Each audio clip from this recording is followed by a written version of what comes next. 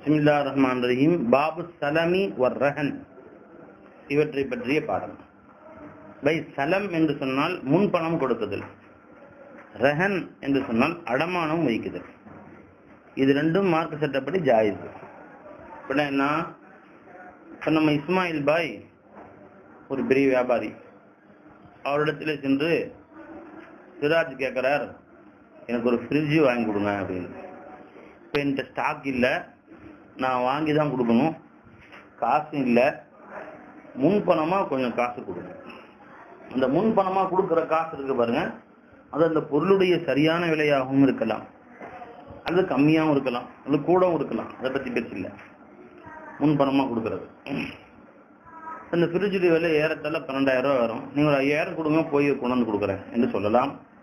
பத்தாயிரம் கொடுங்கன்னு சொல்லலாம். அல்லது அதனுடைய விலை பன்னெண்டாயிரம் ரூபா அதை கொடுத்துருங்க நம்ம வாங்கி கொண்டு வந்து கொடுத்துட்றேன் எனக்கு அதில் அஞ்சு ரூபா கமிஷன் கிடைக்கும். ஒரு ஐநூறுரூவா கமிஷன் கிடைக்கும். கொடுத்துட்றேன்னு சொல்கிறாரு அதுவும் செய்யலாம். அல்லது ஒரு பதினஞ்சாயிரம் கொடுங்க.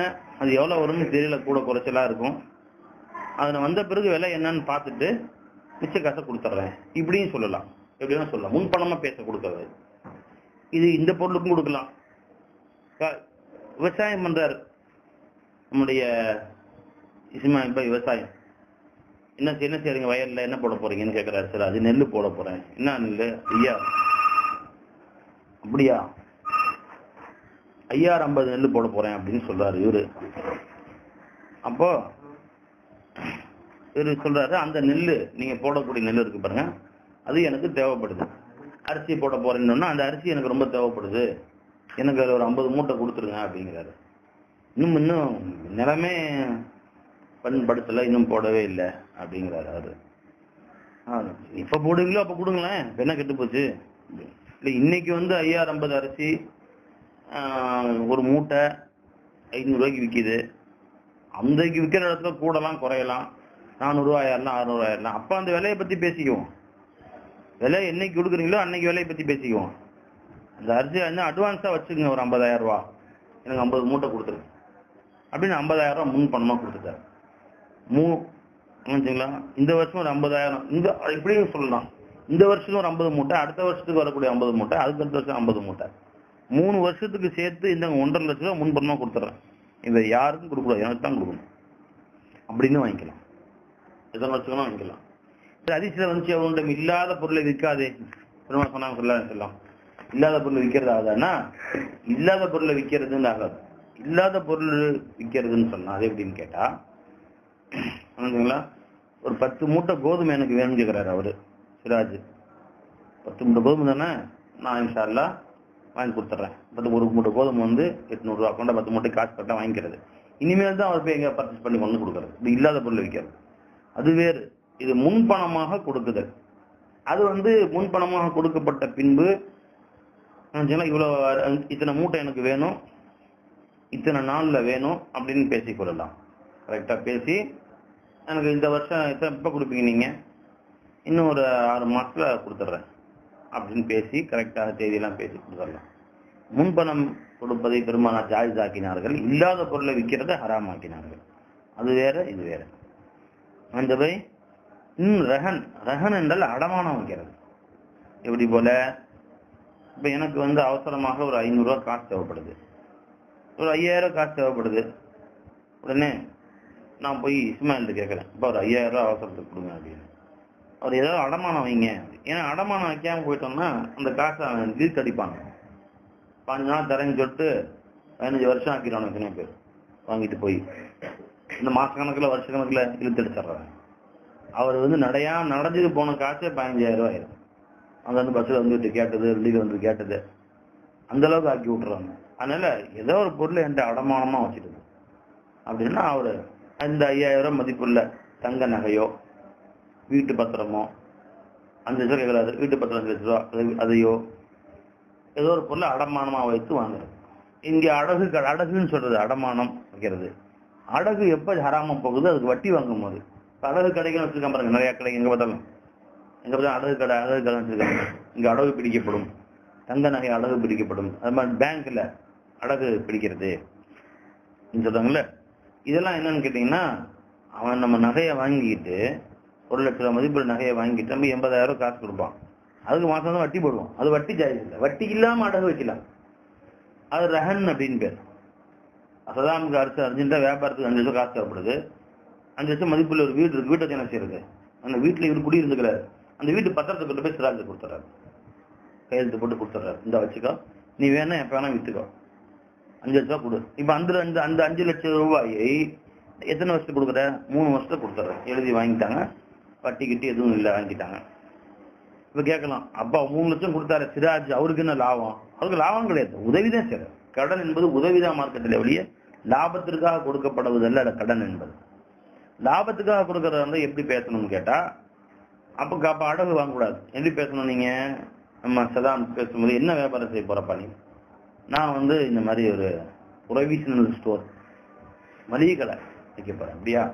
உன்கிட்ட எவ்வளவு முதல் இருக்கு? முதல் பத்து பைசா கூட இல்லை. அப்படியா? சரி. அப்ப மூணு லட்ச ரூபா நான் தர்றேன். நீ உழைக்கிற சாமான் கடை பிடிச்சி கடை சுத்தம் பண்ணி செல்ஃபு கில்ஃபுலாம் அடிச்சு சாமான் வாங்கிட்டு வந்து போட்டு விற்பனை செய்யறது ஆளை போட்டது உன் பொறுப்பு. உழைப்பு ஒண்ணுது. காசு என்னது? கிடைக்கிற லாபத்துல ஃபிஃப்டி ஃபிஃப்டி ஃபிஃப்டி ஃபிஃப்டி கொடுத்துறேன். அப்படின்ட்டு சரின்னு சொல்லிட்டு பேசிக்கிட்டாங்க. மாதம் மாதம் கணக்கு பார்த்து ஃபர்ஸ்ட் மாதம் கணக்கு பார்த்துட்டு இவருக்கு வந்து ஃபிஃப்டி ஃபிஃப்டி பிஸ்கட் கொடுக்குறாரு. நீங்கள் ஏன் நீங்க தான் ஃபிஃப்டி ஃபிஃப்டி கேட்டீங்க. இந்த அப்படின்னு. ஏப்பா இந்த மாதம் லாபம் ஏன் இல்லை செலவு தான் ஆச்சு. கிடைச்ச லாபம் வந்து பத்து ரூபா உனக்கு அஞ்சு ரூபா எனக்கு அஞ்சு ரூபா. அது ஃபிஃப்டி ஃபிஃப்டி பிஸ்கட் தான் வந்துச்சு. இந்த அப்படி. அப்படின்னு வந்து கொடுத்துட்டாரு. அடுத்தடுத்த மாதங்களில் லாபம் கூடுது. இந்த மாதிரி செலவு தான் ஃபர்ஸ்ட் மாதம் பெயிண்ட் அடிக்கணும் ஆள் பிடிக்கணும் அதெல்லாம் நிறைய செலவாயிடுச்சு. அப்புறம் மேல மாசத்துக்கு பத்தாயிரம் பதினஞ்சாயிரம் வருது. ஆளுக்கு ஐயாயிரம் எடுத்துக்கிட்டாங்க. இப்ப ஆளுக்கு ஐயாயிரம். ஆளுக்கு இப்படி எப்படி வேணா இப்ப இவங்க பேசிக்கிறோம் ஒப்பந்தம் பண்றாங்க அந்த மாதிரி? மூணு லட்ச ரூபா என் காசு. நீ அறவே போடல அதனால கிடைக்கிற லாபத்துல முக்காவாசி எனக்கு காவாசி உனக்கு. இருபதாயிரம் கிடைச்சுன்னா ஐயாயிரம் உனக்கு. மீதி உண்டான பதினஞ்சாயிரம் எனக்கு. அப்படி பேசிக்கிறாங்க அவங்க இஷ்டப்படி. அல்லது இவர் வந்து உழைப்பு முழுசும் என்ன நீ காசு மட்டும் தான் மூணு லட்ச ரூபா போடுறாரு அதனால முக்காவாசி எனக்கு தான். அல்லது மூணுல ரெண்டு எனக்குங்கிறாரு இவரு. ம் அதுவும் ஜாய் எப்படி அவர்கள் பேச்சுவார்த்தை நடத்தி கொள்கிறார்களோ அந்த அடிப்படையில் முடிவு செய்து கொள்ள இதுக்கு பேர் வந்து மதுரு மதுரு பையல் முலாரபா பையல் முலாரபா இது ஜாயித்து. இது இல்லாமல் கடனாக கொடுத்தா அதுக்கு வட்டியா காசு வாங்கக்கூடாது எவ்வளவு கொடுத்தாலும். அப்ப ரஹன் அடகு பிடிக்குதல் மார்க்கத்தில் அனுமதிக்கப்பட்டிருக்கிறது. வட்டி இன்றி நிலைமை. இப்ப நம்முடைய சதாம் ஹுசைன் தன் வீட்டை அழகாக வைத்து டாக்ட சிராஜத்தை வைத்து விட்டு ஐந்து லட்சம் ரூபாய் கடன் பெற்று கொண்டார். இப்ப ராகின் யார்? அடகு வைத்தவர் ராகின். யாரு? சதாம். முருத்தகின் அடகு வாங்கியவர் யாரு? சிராஜ். மருகூன் அடகு வைக்கப்பட்டது எது? வீடு. வந்துங்களா லோனியை பார்த்தவன் பிஸ்மில்லா பாபு சலம். வர்ரஹன். الفصل الأول عن ابن عباس رضي الله تعالى عنه قال قدم رسول الله صلى الله عليه وسلم المدينة அருமநாயகம் சல்லா அலி சொல்லம் அவர்கள் மதினாவுக்கு வந்தார்கள் வகும் இஸ்லிஃபூன அவர்களோ முன்பணம் கொடுத்தவர்களாக இருக்கும் நிலையிலே அந்த பழக்கம் அவங்கள்ட்ட இருந்துச்சு இசிமார் பழ வர்க்கங்கள்ல பேரிச்சம் பழத்துக்காக வேண்டி அசனத்த வ சனத்தை நீ சலாத்த ஒரு வருடம் இரண்டு வருடம் மூன்று வருடங்கள் முன்பணம் கொடுத்து விடுவார்கள் இஸ்மாயில் தோட்டம் பெரிய தோட்டம். பெருச்சம்பழம் ஒரு வருஷமும் ஐம்பது மூட்டை காய்க்கும். எனக்கு வந்து வேற யாரும் வாங்கிக்கூடாது இல்லையா? அதனால பா மூணு வருஷத்துக்கு சேர்ந்து ஒன்றரை லட்சம் வச்சுக்கப்பா. வேற யார்ட்டையும் கொடுத்துடாதப்பா. எங்க போறது? கொண்டா அப்படின்ட்டு எப்போ அறுவடை செய்றாரு அப்ப போய் அளந்து நாற்பத்தி அஞ்சு மூட்டை தான் வந்துச்சு இந்த வருஷம். நாற்பத்தி மூட்டைக்கு கூட காசை கழிச்சுக்கோ. இப்போ மிச்சம் வந்துட்டேன் என்னுடைய காசு நாற்பத்தி ஐயாயிரம் போக மிச்சம் எவ்வளோ இருக்கு ஒரு லட்சத்தி ஐயாயிரம் ரூபாய் இருக்கு. கணக்கில் வச்சுக்கலாம் அடுத்த வருஷம் பார்த்தோம். ஐம்பத்தி அஞ்சு மூட்டை வந்துச்சு ஆஹ் ஒரு லட்சத்தி ஐயாயிரம் ரூபாயில ஐம்பத்தஞ்சு போக இந்த ஐம்பதாயிரம் பாக்கி ஒன்று இருக்கு கொண்டா ஐம்பது மூட்டையா அப்படின்னு சொல்லிட்டு மூட்டையை வாங்கிக்க வேண்டியது. இது மொத்தத்துக்கு சேர்த்து முன் பணமாக கொடுத்துட்டாரு. இது ஜாய் அப்பப்போ வரக்கூடியதை வச்சு கணக்கு பார்த்துக்க வேண்டியது. இவ்வாறு செய்யக்கூடியவர்களாக இருந்தார்கள். கால சொன்னார் சொல்லல்லா அலைய செல்லம் அவர்கள் மண் அசலஃப தீஷையின் உங்களில் யாரும் ஒரு வஸ்துவிலே முன்பணம் கொடுத்தால் பல் யுஸ்லிப் அவர்கள் முன்பணம் கொடுக்கவும் சி கைலின் மாலூமின் வசனின் மாலூமின் இலா அஜலின் மாலூமின். அறியப்பட்ட அக அளவையிலே. இன்னும் அறியப்பட்ட நிறுவையிலே. அறியப்பட்ட காலத்தின் அளவிலே. செய்யட்டும். அதாவது பேசும்போது எவ்வளவு எவ்வளவு பொருள் வேண்டும் என்பதை பேசிக் கொள்ளுங்கள். எனக்கு ஐம்பது கிலோ வேணும் ஐம்பது மூட்டை வேணும் நாற்பது மூட்டை வேணும். என்று நிறுத்தல் அளவிலோ எடையிலையோ எனக்கு ஒரு டன் வேணும். எடை அளவு. வசல்னா எடை. கையில்னா அளவுந்து கொடுக்குறது அஞ்சு மரக்கா பத்து மரக்கா அப்படின்னு. அதை ஏன் பேசிங்கன்னு சொல்றாங்கன்னு கேட்டா இப்ப இவருக்கு சிராஜுக்கு தேவையானது ஐம்பது மூட்டை தான். அந்த வருஷம் நூத்தம்பது மூட்டை விளைஞ்சிருச்சு. ஓ நூத்தம்பது மூட்டை இதை எடுத்துக்கணும். ஐயோ எனக்கு ஐம்பது மூட்டை போதும். அப்படின்னு பிரச்சனை வரும் பின்னாடி. அதனால எனக்கு தேவை என்னன்னு சொல்லிப்பா இந்த வருஷம் எனக்கு ஐம்பது மூட்டை வேணும்பா. நீ அதுக்கு மேல எவ்வளவு வேணும் நீ வச்சுக்க அதுக்கு தேவையில்லை. எனக்கு ஐம்பது மூட்டை வேணும். என்ற அளவை நிர்ணயம் செய்து கொள்ளுங்கள். என்னைக்கு தர்ற? அப்படின்றதையும் பேசிக்கணும். அவர் சொல்றாரு இன்ஷா அல்லா தாலா மார்ச் மாசம் அறுவடை செஞ்சிருவோம். மார்ச் முப்பத்தி ஒண்ணுக்குள்ள உன்னை கொடுத்துட்றேன் அப்ப சரி எழுதிக்கிறோம். மார்ச் முப்பத்தி ஒன்றுக்குள் ஐம்பது மூட்டை பெருச்சம்பழத்தை கொடுப்பதாக பெருச்சம்பழத்தை கொடுப்பதாக முடிவு செய்யப்பட்டது. அதுக்கு முன் பணமாக இவ்வளோன்னு எழுதி கையெழுத்து வந்து சாட்சி வச்சு சீல் வச்சு வச்சுக்கணும். இவர்கிட்ட ஒரு காப்பி அவர்கிட்ட காப்பி வச்சுக்கணும். ரஞ்சபாய் ஏன் அப்படி கொடுத்து வச்சுக்கணும்? அப்படின்னு கேட்டா இப்ப அவர் படம் அறுவடை பண்ணிட்டாரு மார்ச் மாசம். போய் சிராஜ் இங்க பழம்லாம் ஐம்பது மூட்டை கேட்டனே காசு முன் பணமா கொடுத்துருக்கேன். முன் பணம் கொடுத்துருக்கல பழம் கேட்டிருக்கு அவ்வளவுதானே? என்னைக்கு தரேன் நான் சொல்லல. பொறு பொறு தர்றேன் தர்றேன். தரல நான் சொன்னேன். போ போ. வந்துட்டேன் அப்படின்ட்டார். போயிட்டார் அவர். ஏப்ரல் மாசம் வந்தார். தர்றேன். இங்கே போயிருப்பது இப்போ மே மாசம் வர்றாரு. அதுக்கும் அதே பதில். இப்படி ஆறு மாசம் ரெகுலர் மாசம் வர்றாரு. என்னையா நீ பாட்டுக்கு ரொம்ப தொந்தரவு பண்ணிருக்க பணம் அருள் பண்ணி வச்சது கையில கொடுக்க என்ன அப்படின்னு. தருவேன் தருவேன். அதுக்கு மேல அதிகமா வந்துட்டு இருக்காத. நடக்கிறது நல்லா இருக்காது அப்படிங்க இது வேங்காட்டுற பிரச்சனையா இருக்கும் அதனால என்ன செய்யுங்க? என்னைக்கு என்ன கொடுக்கலாம்ல. நான் உனக்கு கொடுக்குறேன்னு தான் சொன்னேன். என்னைக்கு கொடுக்குறேன்னு சொன்னேன்னா? அடா பாவி இப்படி வயிற்று அடிப்பேன்னு தெரிஞ்ச வேற யார்ட்டையும் கொடுத்துருப்பேன். அந்த சதான் கொடுத்துருப்பேன். இர்ஷாத் பேட்டை கொடுத்துருப்பேன் நீ ஏன்டா இப்படி இல்லை பண்ணிட்டு போனதில்லை அயோக்கித்தனம் அப்படின்னு. பிரச்சனை வரும். அதனால எழுதி வைத்துக் கொள்ளுங்கள் எத்தனை நாட்கள் என்பதை. அதனாலே முத்தபக்கும் அழகியான ஹதீஸ். சரிங்களா இப்ப இமாம் ஷாஃபி இமாம் அத்தா அபு சவுர் அத்தா பின் ரவா அபு சவுர் போன்ற இமாம்களிடத்திலே இபின் இப்னுல் முந்திர் போன்றவரிடத்திலே சலமிலே முன்பணம் கொடுப்ப சலம் சலப் ரெண்டு விளையாட்டுனவை சலம்னாலும் சலப்னா இவைகளிலே குறிப்பிட்ட கால தவணை இன்றியும் வியாபாரம் செய்வது ஜாயிஸ் என்று கூறுகிறார்கள். ஆனால் எவ்வளவு பொருள் என்று நிர்ணயம் செய்ய வேண்டும். கையிலே கையில் அதே மாதிரி வசன் இது ரெண்டையும் முடிவு செய்து கொள்ள வேண்டும். கால தவணை தேவையில்லை என்று கூறுகிறார். உதாரணமாக நான் பத்து மூட்டை கோதுமை உன்னிடத்திலே வாங்கிக் கொள்கிறேன். எந்த முன்பணம் கொடுக்கலாம். எவ்வளவு காலம் அப்படின்னு சொல்ல தேவையில்லை. ஏன் இவங்க என்ன ஆதாரம் சொல்றாங்க?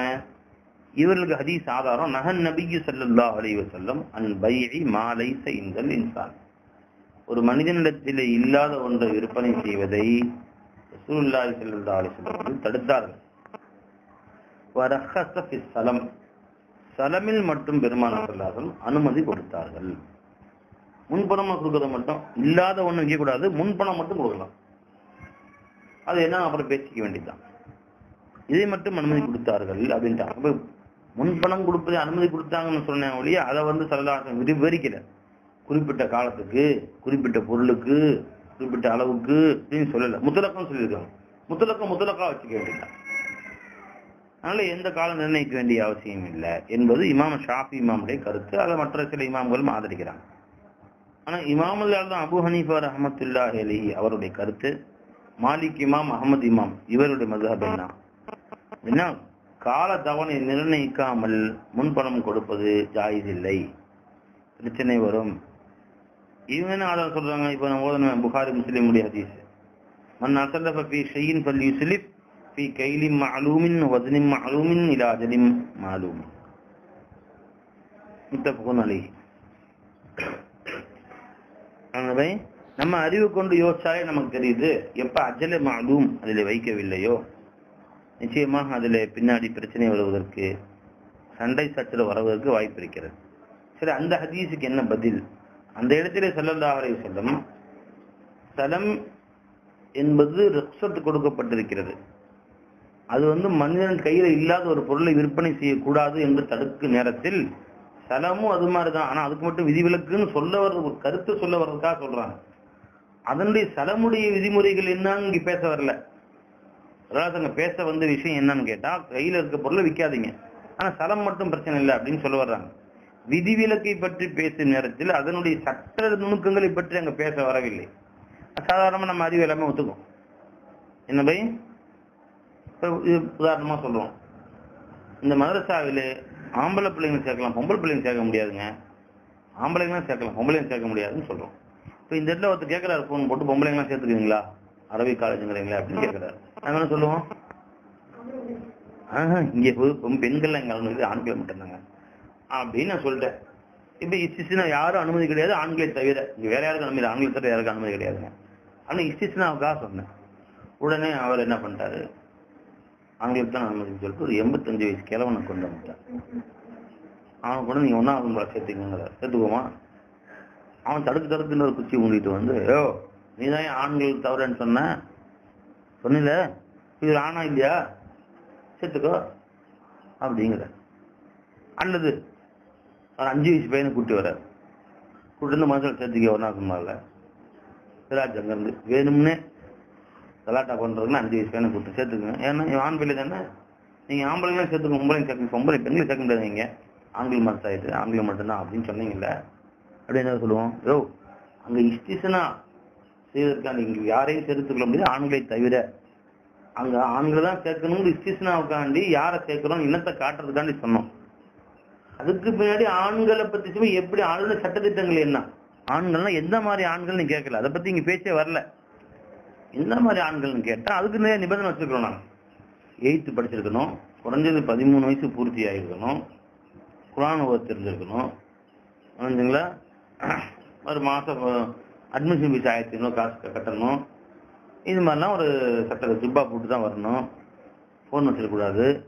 இதில் ஃபோன்லாம் பண்ணக்கூடாது இப்படிலாம் நிறைய சரத்து நிபந்தனைகள் போட்டு அடுத்த நிபந்தனை போடுறோமா இல்லையா? அது எந்த நிபந்தனையும் இல்லாம எல்லா ஆண்களையும் சேர்த்துக்கணும் அந்த அர்த்தமா?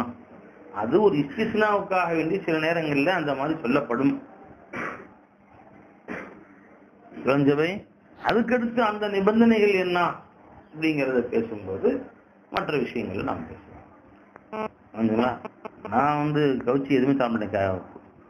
ஒரு முட்டை மட்டும் தான் திங்குவேன் வேற எதுவும் திங்க மாட்டேன் அப்படின்னு சொல்றாரு கறி கோழி நான் திங்க மாட்டேன்னு அர்த்தம். முட்டை மட்டும் தான் திம்பேன் அப்படின்னு சொல்றாரு. இஸ்டிஸ்னாவுக்காக சொல்ற ஒரு விஷயத்த. உடனே பச்சை முட்டை எடுத்து வாயில ஊத்துறாரு. ஐயோ அப்பா அப்படிங்கிற இதான் முட்டை திம்பேன்னு இல்ல? முட்டை திம்பேன்னு சொல்லிட்டேன். முட்டை எப்படி திம்பேன்னு அடுத்த விஷயம் இருக்கு. சொல்லுவோம். விளஞ்சா இல்லையா? முட்டையை பொரிச்சு திம்பேன் வேவிச்சு முட்டை எனக்கு பிடிக்காது. பொரிச்சு அதுவும் மிளகு போட்டு இல்ல ஆபாயிலா திம்பேன் இல்ல வேவிச்சு தான் திம்பேன் அந்த சட்டங்கள் பின்னாடி சொல்லப்படும். அதுன்னு அவர் முட்டை திம்பேன்னு தான் சொன்னீங்க எப்படி அப்ப முத்துலக்கம் எந்த முட்டையும் திங்கணும்? பச்சை முட்டையை உடைச்சு வாயில ஊத்துனாலும் திங்கணும் அப்படின்னு சொன்னா அது அது மாதிரி இந்த இடத்துல வந்து எல்லா விதமான பொருள் எது கையில இல்லாத பொருளை விக்கிறது எல்லாத்தையுமே தடை செஞ்சாங்க. தலைமை தவிரன்னு சொல்லிட்டாங்க. அப்புறம் சலம்னா என்ன அதனுடைய விதிமுறைகள் என்னன்னு வேற ஹரித்துல பயன் செய்கிறாங்க ரெண்டையும் வச்சுதான் நம்ம பார்க்கணும். இந்த இஸ்டிசனா வச்சு நம்ம முத்துலக்கன்னு முடிவு செய்யக்கூடாது. யார் சொல்றா? ஆனா பிள்ளைக்கார் தெளிவாக சொல்றாங்க பாத்தீங்களா? இது மட்டும் இல்ல ஒரு இடத்துல முக்கையதா வருது ஒரு இடத்துல முத்தலக்கான் வருது அப்படிங்கும்போது புரிஞ்சுங்களா? சந்தர்ப்ப சூழ்நிலை கணிச்சு புரிஞ்சுங்களா? முத்தலக்கை முக்கையதின் மீது சுமத்தப்படலாம். சந்தர்ப்ப சூழ்நிலை கவனிச்சுன்னு வார்த்தை சேர்த்துக்கிட்டேன் எல்லா இடத்துலையும் பொருந்தாது சந்தர்ப்ப சூழ்நிலை கவனிச்சுதான் சரி வாங்க இப்ப அடுத்த அதிர்ச்சி போலாம் وعن عائشة رضي الله تعالى عنها قالت اشترى رسول الله صلى الله عليه وسلم طعاما من يهودي إلى أجل பெருமானா ஸல்லல்லாஹு அலைஹி வஸல்லம் அவர்கள் ஒரு யகூதியிடத்திலே உணவை வாங்கினார்கள் ஒரு குறிப்பிட்ட காலத்துக்கு கடனா வாங்குறாங்க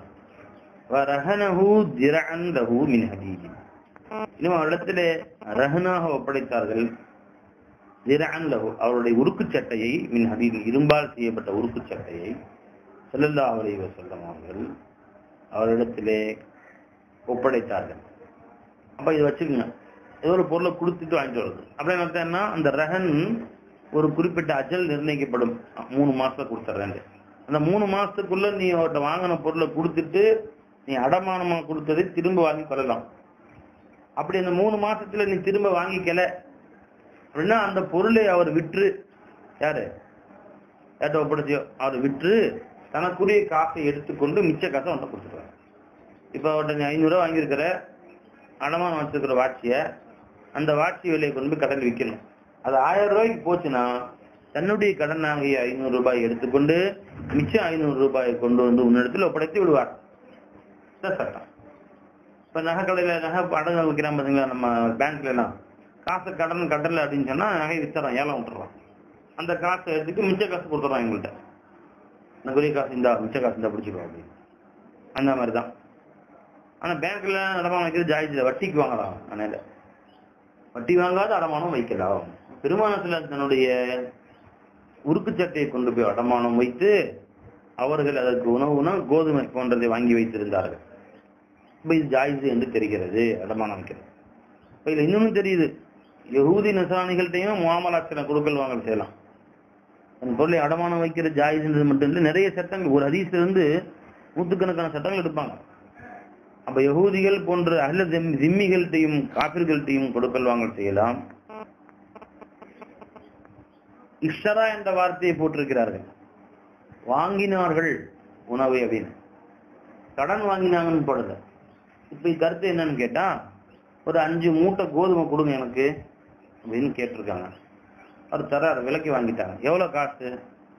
அப்படின்னு கேட்டது அவர் அஞ்சு மூட்டை கோதுமை விலை ஐயாயிரம் ரூபாய். ஒரு மூட்டை ஆயிரம் ரூபாய் அப்படின்னு சொல்லியிருக்கிறார். சரி ஐயாயிரம் ரூபாய் இப்ப நான் தர்றதுக்கு ஒரு மூணு மாசம் கழிச்சு தரேன் இப்ப என் கையில காசு இல்லை. மூணு மாசம் கழிச்சு ஐயாயிரம் கொடுத்துட்றேன் அப்படின்னு சொன்னோன்னே அதுக்கு ஏதாவது அடமானம் மூணு மாசம் கழிச்சு எப்படி கொடுப்பீங்கன்னு எனக்கு கேட்டேன்னா அடமானம் ஏதாவது கொடுங்க. அப்படின்னா இப்ப அந்த உருக்கு சட்டை கொண்டு போய் ஐயாயிரம் மதிப்போட உருக்கு சட்டை கொடுத்துட்டாங்க அவர்கிட்ட. அப்ப இங்க இஷ்ட வாங்குதல் கூடும். நசீயத்தன் பின்னால் காசு தருகிறேன் என்று கூறி ஒரு பொருளை வாங்குவது கூடும் என்பதும் அதற்காக அடமானம் வைக்கலாம் என்பதும் யகூதி நசரானிகள் போன்ற திம்மிகள்ட்டையும் வியாபாரம் செய்யலாம் என்பதும் தெரிகிறது. அது யகூதி இருக்கிறானே அவன் ஏற்கனவே பல ஹராமான வேலைகளும் பண்றான். கட்டாயம் பண்ணுவானுங்க சாராயம் வியாபாரம் பண்ணுவானுங்க பன்னி வியாபாரம் பண்ணுவானுங்க. அவனோட அவன்கிட்ட எல்லாம் ஜாயிஸ் தானே உங்கள்கிட்ட? காப்பீர்கள்ட்ட இடைத்திராசில மோசடி செஞ்சு வியாபாரம் பண்ணுவாங்க. கொள்ளை அடிச்சிடுவான் திருடுவான் என்னவோ அவங்கள்ட்ட அந்த மாதிரி கெட்ட பழக்கம்லாம் இருக்குது. அப்படி இருக்கக்கூடிய தெரிஞ்சாலும் நம்முடைய பொருட்கள் வாங்கலை அவர்களோடு வைத்துக் கொள்ளலாம். ஏன்னா நாம ஹலாலாக வியாபாரம் செஞ்சுக்கலாம். இப்போ ஆட்டுக்கறி கடையில் போகிறோம் அவன் ரத்தம் வைக்கிறான். ஆட்டு கடைக்காரன் இஸ்மில்ல சொல்லி தான் இருக்கிறானுங்க ஆட்டை. அந்த ரத்தத்தை பிடிச்சி வச்சு அது காஃபிர்களுக்கு விற்கிறான். அந்த ரத்தத்தை அப்படியே வாங்கிட்டு போய் ஈரல் மாதிரி அறுத்து திங்கிறாங்க அவங்க ரத்தத்தை. இஸ்லாம் மரத்திட்டபடிக்கு அது வெறும் நஜீஸ் தான் நஜீஸ் அது. ரத்த கட்டிய அவன் பொறிச்சு ஈரல் கட்டி மாதிரி திங்கிறான். அது சாணி கட்டி தின்ற மாதிரி ஆட்டு புழுக்கையை வறுத்து தின்ற மாதிரி. புரிஞ்சுங்களா? சுண்டல் மாதிரி ஒரு ஆட்டு புழுக்கையை வறுத்து தின்றான். அது எப்படி ஹராமோ அப்படிதான் ரத்த கட்டியும் ஹராமோ. அது நஜீஸ் அது. சிறுநீர் எப்படி நஜீஸோ அதே மாதிரிதான்.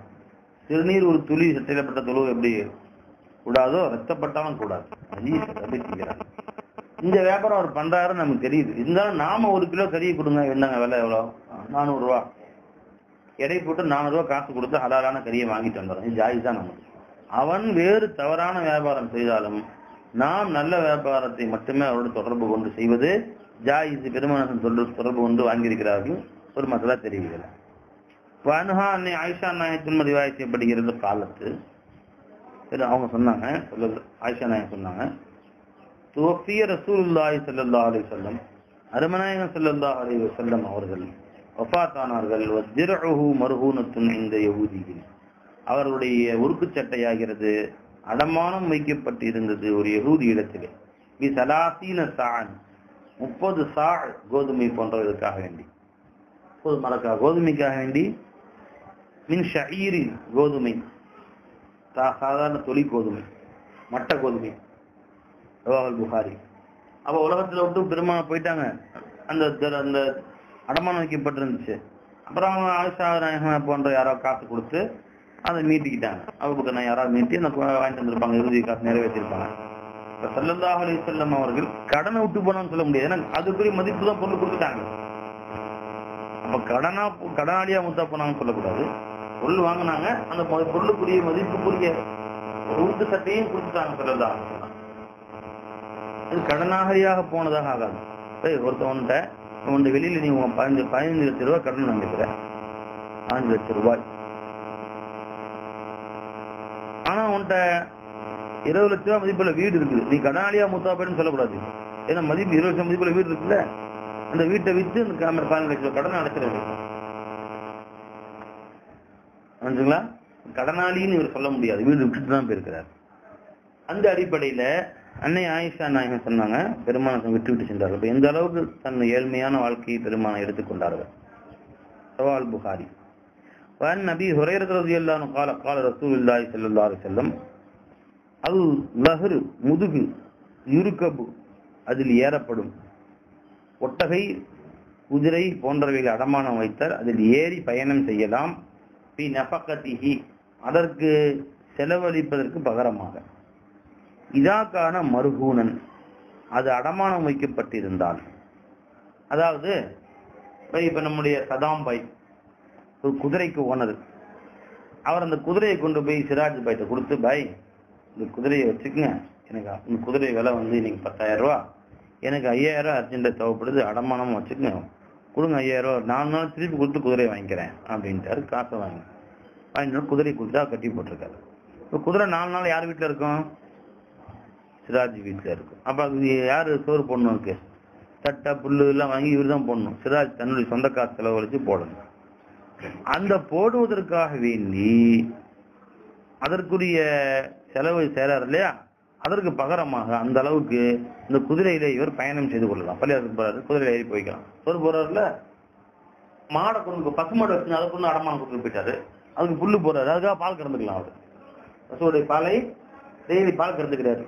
புல்லு போறாருல நாலு நாள் கழிச்சு அவர் மாட்டை வாங்கிட்டு போற வரைக்கும் இவர் புல்லு போட்டு வளர்த்துக்க வேண்டியது பாலை கறந்துக்க வேண்டியது. செய்து கொள்ள உரிமை இருக்கிறது. இதாக்கான மருகூனன் அது ரகன் செய்ய அடமானம் வைக்கப்பட்டதாக இருந்தால் லபனு தர்ரி யுஷரபு. தர்னா பால் மடி அப்படின்னா இங்க வந்து தாத்து தர்ன்னு அர்த்தம். பால் மடி உடைய மிருகங்கள். மாடு ஆடு போன்றவை. இதனுடைய பாலை பயன்படுத்தப்படும் யுஷரபது குடிக்கப்படும் பி நஃபகத்திஹி. அதற்கு செலவு செய்வதற்காக வேண்டி இதாக்கான மருகூனன் அது அடமானம் வைக்கப்பட்டதாக இருந்தால் அலல்லதி எருக்கபு எஷிரிபு யார் அந்த வாகனத்திலே ஏறுகிறார்களோ எஷிரிபு இன்னும் அதனுடைய அந்த பாலை குடிக்கிறார்கள் அவர்கள் மீது பொறுப்பு இருக்கிறது. அந்நபகத்து அந்த குதிரைக்காக வேண்டியும் அந்த மாட்டுக்காக வேண்டியும் செலவழிப்பது. சவால் புகாரி. வந்தவை இப்ப இதுலயும் சில பல கருத்து வேறுபாடுகள் இருக்கிறது. அதுன்னு தெரிஞ்சுங்க அகமது இமாம் சொல்றாங்க ஒருவன் அடமானம் வைத்தால் அந்த பொருளுக்கு இவன் செலவு செய்தால் அந்த பொருளை இவன் பயன்படுத்திக் கொள்ளலாம் என்று கூறுகிறார். விடுமா அடமானம் வைத்த பொருளை செலவு செய்யும் காலமெல்லாம் அதை இவன் பயன்படுத்திக் கொள்ளலாம். இது அகமது இமாம் கருத்து இந்த அதிச ஆதாரமாக வைத்து கூறுகிறார். இப்ப செலவு செஞ்சாதான். செலவு செய்யல அதை பயன்படுத்தக்கூடாது. உதாரணமாக பைக்கு அடமானமா வச்சு அவர் காசு வாங்கி பண்ணாரு அதுக்கு ஒரு மூலையில கிடக்குது. எதாவது செலவும் சேனமா இருக்கு? சோறு போடணுமா? புல் வாங்கி போனோம் அப்பப்ப. போடாம தான் நல்லது சலாமத்து. ஆனா அந்த பைக் எடுத்து நான் ஓட்டுவேன். நீ பத்தாயிரம் வாங்கியிருக்கல அந்த பைக்கை நான் வந்து பயன்படுத்தி கடத்தவர்களாம் நான் போயிட்டு வருவேன். என்று இவர் அனுமதி வாங்கி ஓட்டினாலும் கூடாதுங்கிறாங்க மற்றவங்க அவங்க ஓட்டலாமா? கூடாது. அகமது மேம் சொல்றாங்க எதுக்கு நீ செலவு செய்யறியோ அந்த செலவுக்கு பகரமாக குதிரை புல்லு போடுற அதுக்காக ஏறி போட்டு கொட்டிக்கலாம். மாடு புல்லு போடுற பால் கறந்துக்கலாம். இந்த ஹதீஸ் அதுக்கு ஆதாரம் என்று இமாம் அகமது இமாம் கூறுகிறார். ஆனால் இமாமுல்லாம் அபு ஹனீஃபா ரஹமத்துல்லாரையும் மாலிக் இமாம்கிட்டையும் ஷாஃபி இமாம்கிட்டையும் இவங்கெல்லாம் ஒன்றை கருந்துட்டாங்க. அகமது இமாம் அவர்கள் கருத்துக்கு இவர்கள் மறுப்பு தெரிவிக்கிறார்கள். இவர்களிடத்தில் இன்னும் சொல்ல போனால் ஜுமுகூர்ல உலமா பெரும்பாலான தாபீன்கள் தப தாபீன்கள் பெரும்பாலான இமாம்கிட்ட அடமானம் வைக்கப்பட்ட பொருளை பயன்படுத்துவது ஹராமாகும். ஏன்னா குல்லு கரலின் ஜர்ர நஃபான் ஃபஹுவ ரிபா. எந்த கடன் லாபத்தை கொண்டு வந்ததோ அது வட்டியாயிருக்கும். இருக்கும் ஹராமுன்னு அது ஹராமா இருக்கும். இப்ப நீ கடனாக பத்தாயிரம் வாங்கிட்டு அதுக்கு லாபமா இந்த வட்டியை வச்சுக்கோ இந்த குதிரையை பயன்படுத்திக்கோ இந்த ஆட்டை பயன்படுத்திக்கோ என்று நீ கூறுகிறாயே அதுக்கு பேர் தான் வட்டி. பெற்றுக்கொண்ட கடனுக்கு பகரமாக ஆ, கடனுக்கு பகரமாக எதுவாவது பலன் பெற்றால் அந்த பலனுக்கு பேர் என்னங்க பை? வட்டி. இவர் பத்தாயிரம் கடன் பெற்றதுக்கு பகரமாக இந்த குதிரையை பயன்படுத்திக்கோ இந்த ஆட்டை பயன்படுத்திக்கோ இந்த மாட்டை பயன்படுத்திக்கோ இந்த வண்டியை பயன்படுத்திக்கோ இந்த வீட்டை பயன்படுத்திக்கோ. ஒரு லட்ச ரூபா போகியோங்கிறாங்கல்ல எல்லாம் ஹராம் தான் போகியம் எல்லாமே. ஒரு லட்ச ரூபாய் கொடுத்துட்டு அந்த வீட்டை நீ வச்சுக்கோ. நீ பயன்படுத்திக்கோ போகும்போது ஒரு லட்சம் திருப்பி கொடுத்துட்றேன். ஒரு லட்ச ரூபாய்க்கு வட்டி தர தேவையில்லை. வட்டி மேல இந்த வீட்டை வச்சுக்கிறேன் அவன் கணக்கு போடுறான்? ஒரு லட்ச ரூபா நம்ம யார்கிட்ட கடன் வாங்கினா மாசம் மாசம் வட்டி ரெண்டாயிரம் கொடுக்கணும். வட்டிக்கு பதிலா அந்த வீடை கொடுத்துட்டோம். அந்த ரெண்டாயிரம் மதிப்பு இல்லை இவனுக்கு நான் எனக்கு லாபம் தானே வாடகை கொடுக்காம வீட்டில் இருந்துக்கிறேன். அப்படின்ட்டு அவன் வீட்டில் இருந்துக்கிறான். வட்டி தான் அஞ்சுல போக்கியம் சொல்கிறாங்களே இப்போ. திருஷாத்தாக்கு வீடு தேவை. சிமெண்ட் வீடு இருக்குது. இப்போ கேட்குறாரு ஒரு போகியம் ரெண்டு லட்சம் போகியம் விடலான்னு இருக்கிறாங்க. போகியம் தமிழ்ல தமிழ்நாட்டில் பழக்கம். என்னங்க ரெண்டு லட்சம் கொடுத்துருந்தா இருந்துக்க வேண்டியது. பத்து- அஞ்சு வருஷமா நாலு வருஷமா பத்து வருஷமா. போகும்போது காசு திருப்பி கொடுத்துருவாரு அந்த ரெண்டு லட்சம் ரூபாய்க்கு வட்டி தருவார்ல அதுக்குள்ள வீடு. இதெல்லாம் ஹராம் ஆக சட்டப்படி. கூடவே கூடாது. இங்க பார்த்தாலும் செய்றாங்க அந்த மாதிரி. அதுல ஹீரா மசாலான்னு வேற நாங்க ஒரு சும்மா நூறு ரூபா வாடகை கொடுத்துக்கிட்டோம். ரெண்டாயிரம் மதிப்புள்ள வீட்டுக்கு நூறு ரூபா வாடகை கொடுத்தோம் மீதி ஆயிரத்தி தொள்ளாயிரம் வட்டி. மீதி ஆயிரத்தி தொள்ளாயிரம் வட்டி தான் அது. எப்படி ஜாயிஸ் ஆகும்? அறவே ஜாயிஸ் இல்லை. அப்ப இமாம் அபுவனுக்கு மீட்ட மூன்று இமாம்களும் இவ்வாறு கொடுப்பது அறவே கூடாது என்று கூறுகிறார்கள். காரணம் பெருமான சொல்லியிருக்கிறாங்க குல்லு கரலின் ஜர்ரனபான் ஃபஹுவ ரிபன். பெருமான சொன்னதா என்னன்னு தெரியல. மார்க்க சட்டத்துல அசல் சட்டங்கள் ஒரு சட்டம். எந்த கடன் லாபத்தை கொண்டு வந்ததோ அது ரிபாவா இருக்கு. இவங்க என்ன ஆதாரம் சொல்றாங்க இமாம் அபு ஹனீஃபா சொல்லாரு இந்த இமாம்கள்லாம் அபி ஹுரேரா ரிவாயத்து வருது. லா யக்லிகு ரஹனு அர் ரஹன மின் சாஹிபி இல்லதி ரஹனஹு. அடமானம் வைத்தவரை விட்டும் அவருடைய பொருளை அந்த அடமானம் வைத்து தடுக்காது. இப்ப நம்முடைய சதாம் ஹுசேன் தன்னுடைய பைக்கை கொண்டு போய் சிராஜிட்ட அடமானம்னு சொல்லிட்டார். எப்ப வேணா எடுத்து ஓட்டிக்கலாம். தான் வீட்லயும் வச்சுக்கலாம் அவர் அமைப்பு இல்லை அவர் வீட்டுல வச்சிட முடியும் தான் தான் ஓட்டலாம். சதாம் தான் ஓட்டலாம். சிராஜ் இந்த வண்டி ஓட்ட முடியாது. இவரை விட்டும் அந்த அடமானம் வைத்தால் தடுக்க முடியாது அந்த வஸ்துவை. சதாம் தான் வீட்டு அடமானம் வச்ச நேரம் அந்த வீட்டை காலி பண்ணு சொல்றாரு. வீட்டு இருந்து கொண்டு இவரை பயன்படுத்தலாம். அடமானம் வைத்த பொருளை இவர்தான் பயன்படுத்த முடியும் என்று பெருமானார் சொல்லியிருக்கிறார். இந்த விஷயம் நமக்கு ஆதாரமா இருக்கு சரி இப்ப அந்த அதிசுக்கு என்னங்க பதில்? என்றால் அது வட்டி மார்க்கம் கடமையாக்குவதற்கு முன்பு வந்த ஹதீஸ். அது வட்டி கடமையாக்கப்பட்ட பின்பு வட்டியை பற்றி மார்க்கம் ஹராம் என்று சொன்ன பின்பு அந்த ஹதீஸ் மன்சூஃபாக ஆகிவிட்டது. பயன்படுத்தி கொள்ளலாம் என்ற ஹதீஸ் மன்சூஃப் ஆயிடுச்சு வட்டி ஆகணும்னா கடைசியா கடைசி வருஷம் வட்டி ஹராமாச்சு? நம்மளோட கடைசி வருஷங்கள்ல அதனால அதோட இதுவும் ஹராம் ஆயிடுச்சு என்று பதில் கூறுகிறார்கள். கொஞ்சமா ரவாகுல் புகாரி அது புகாரி செய்யப்படி ஹதீஸ்.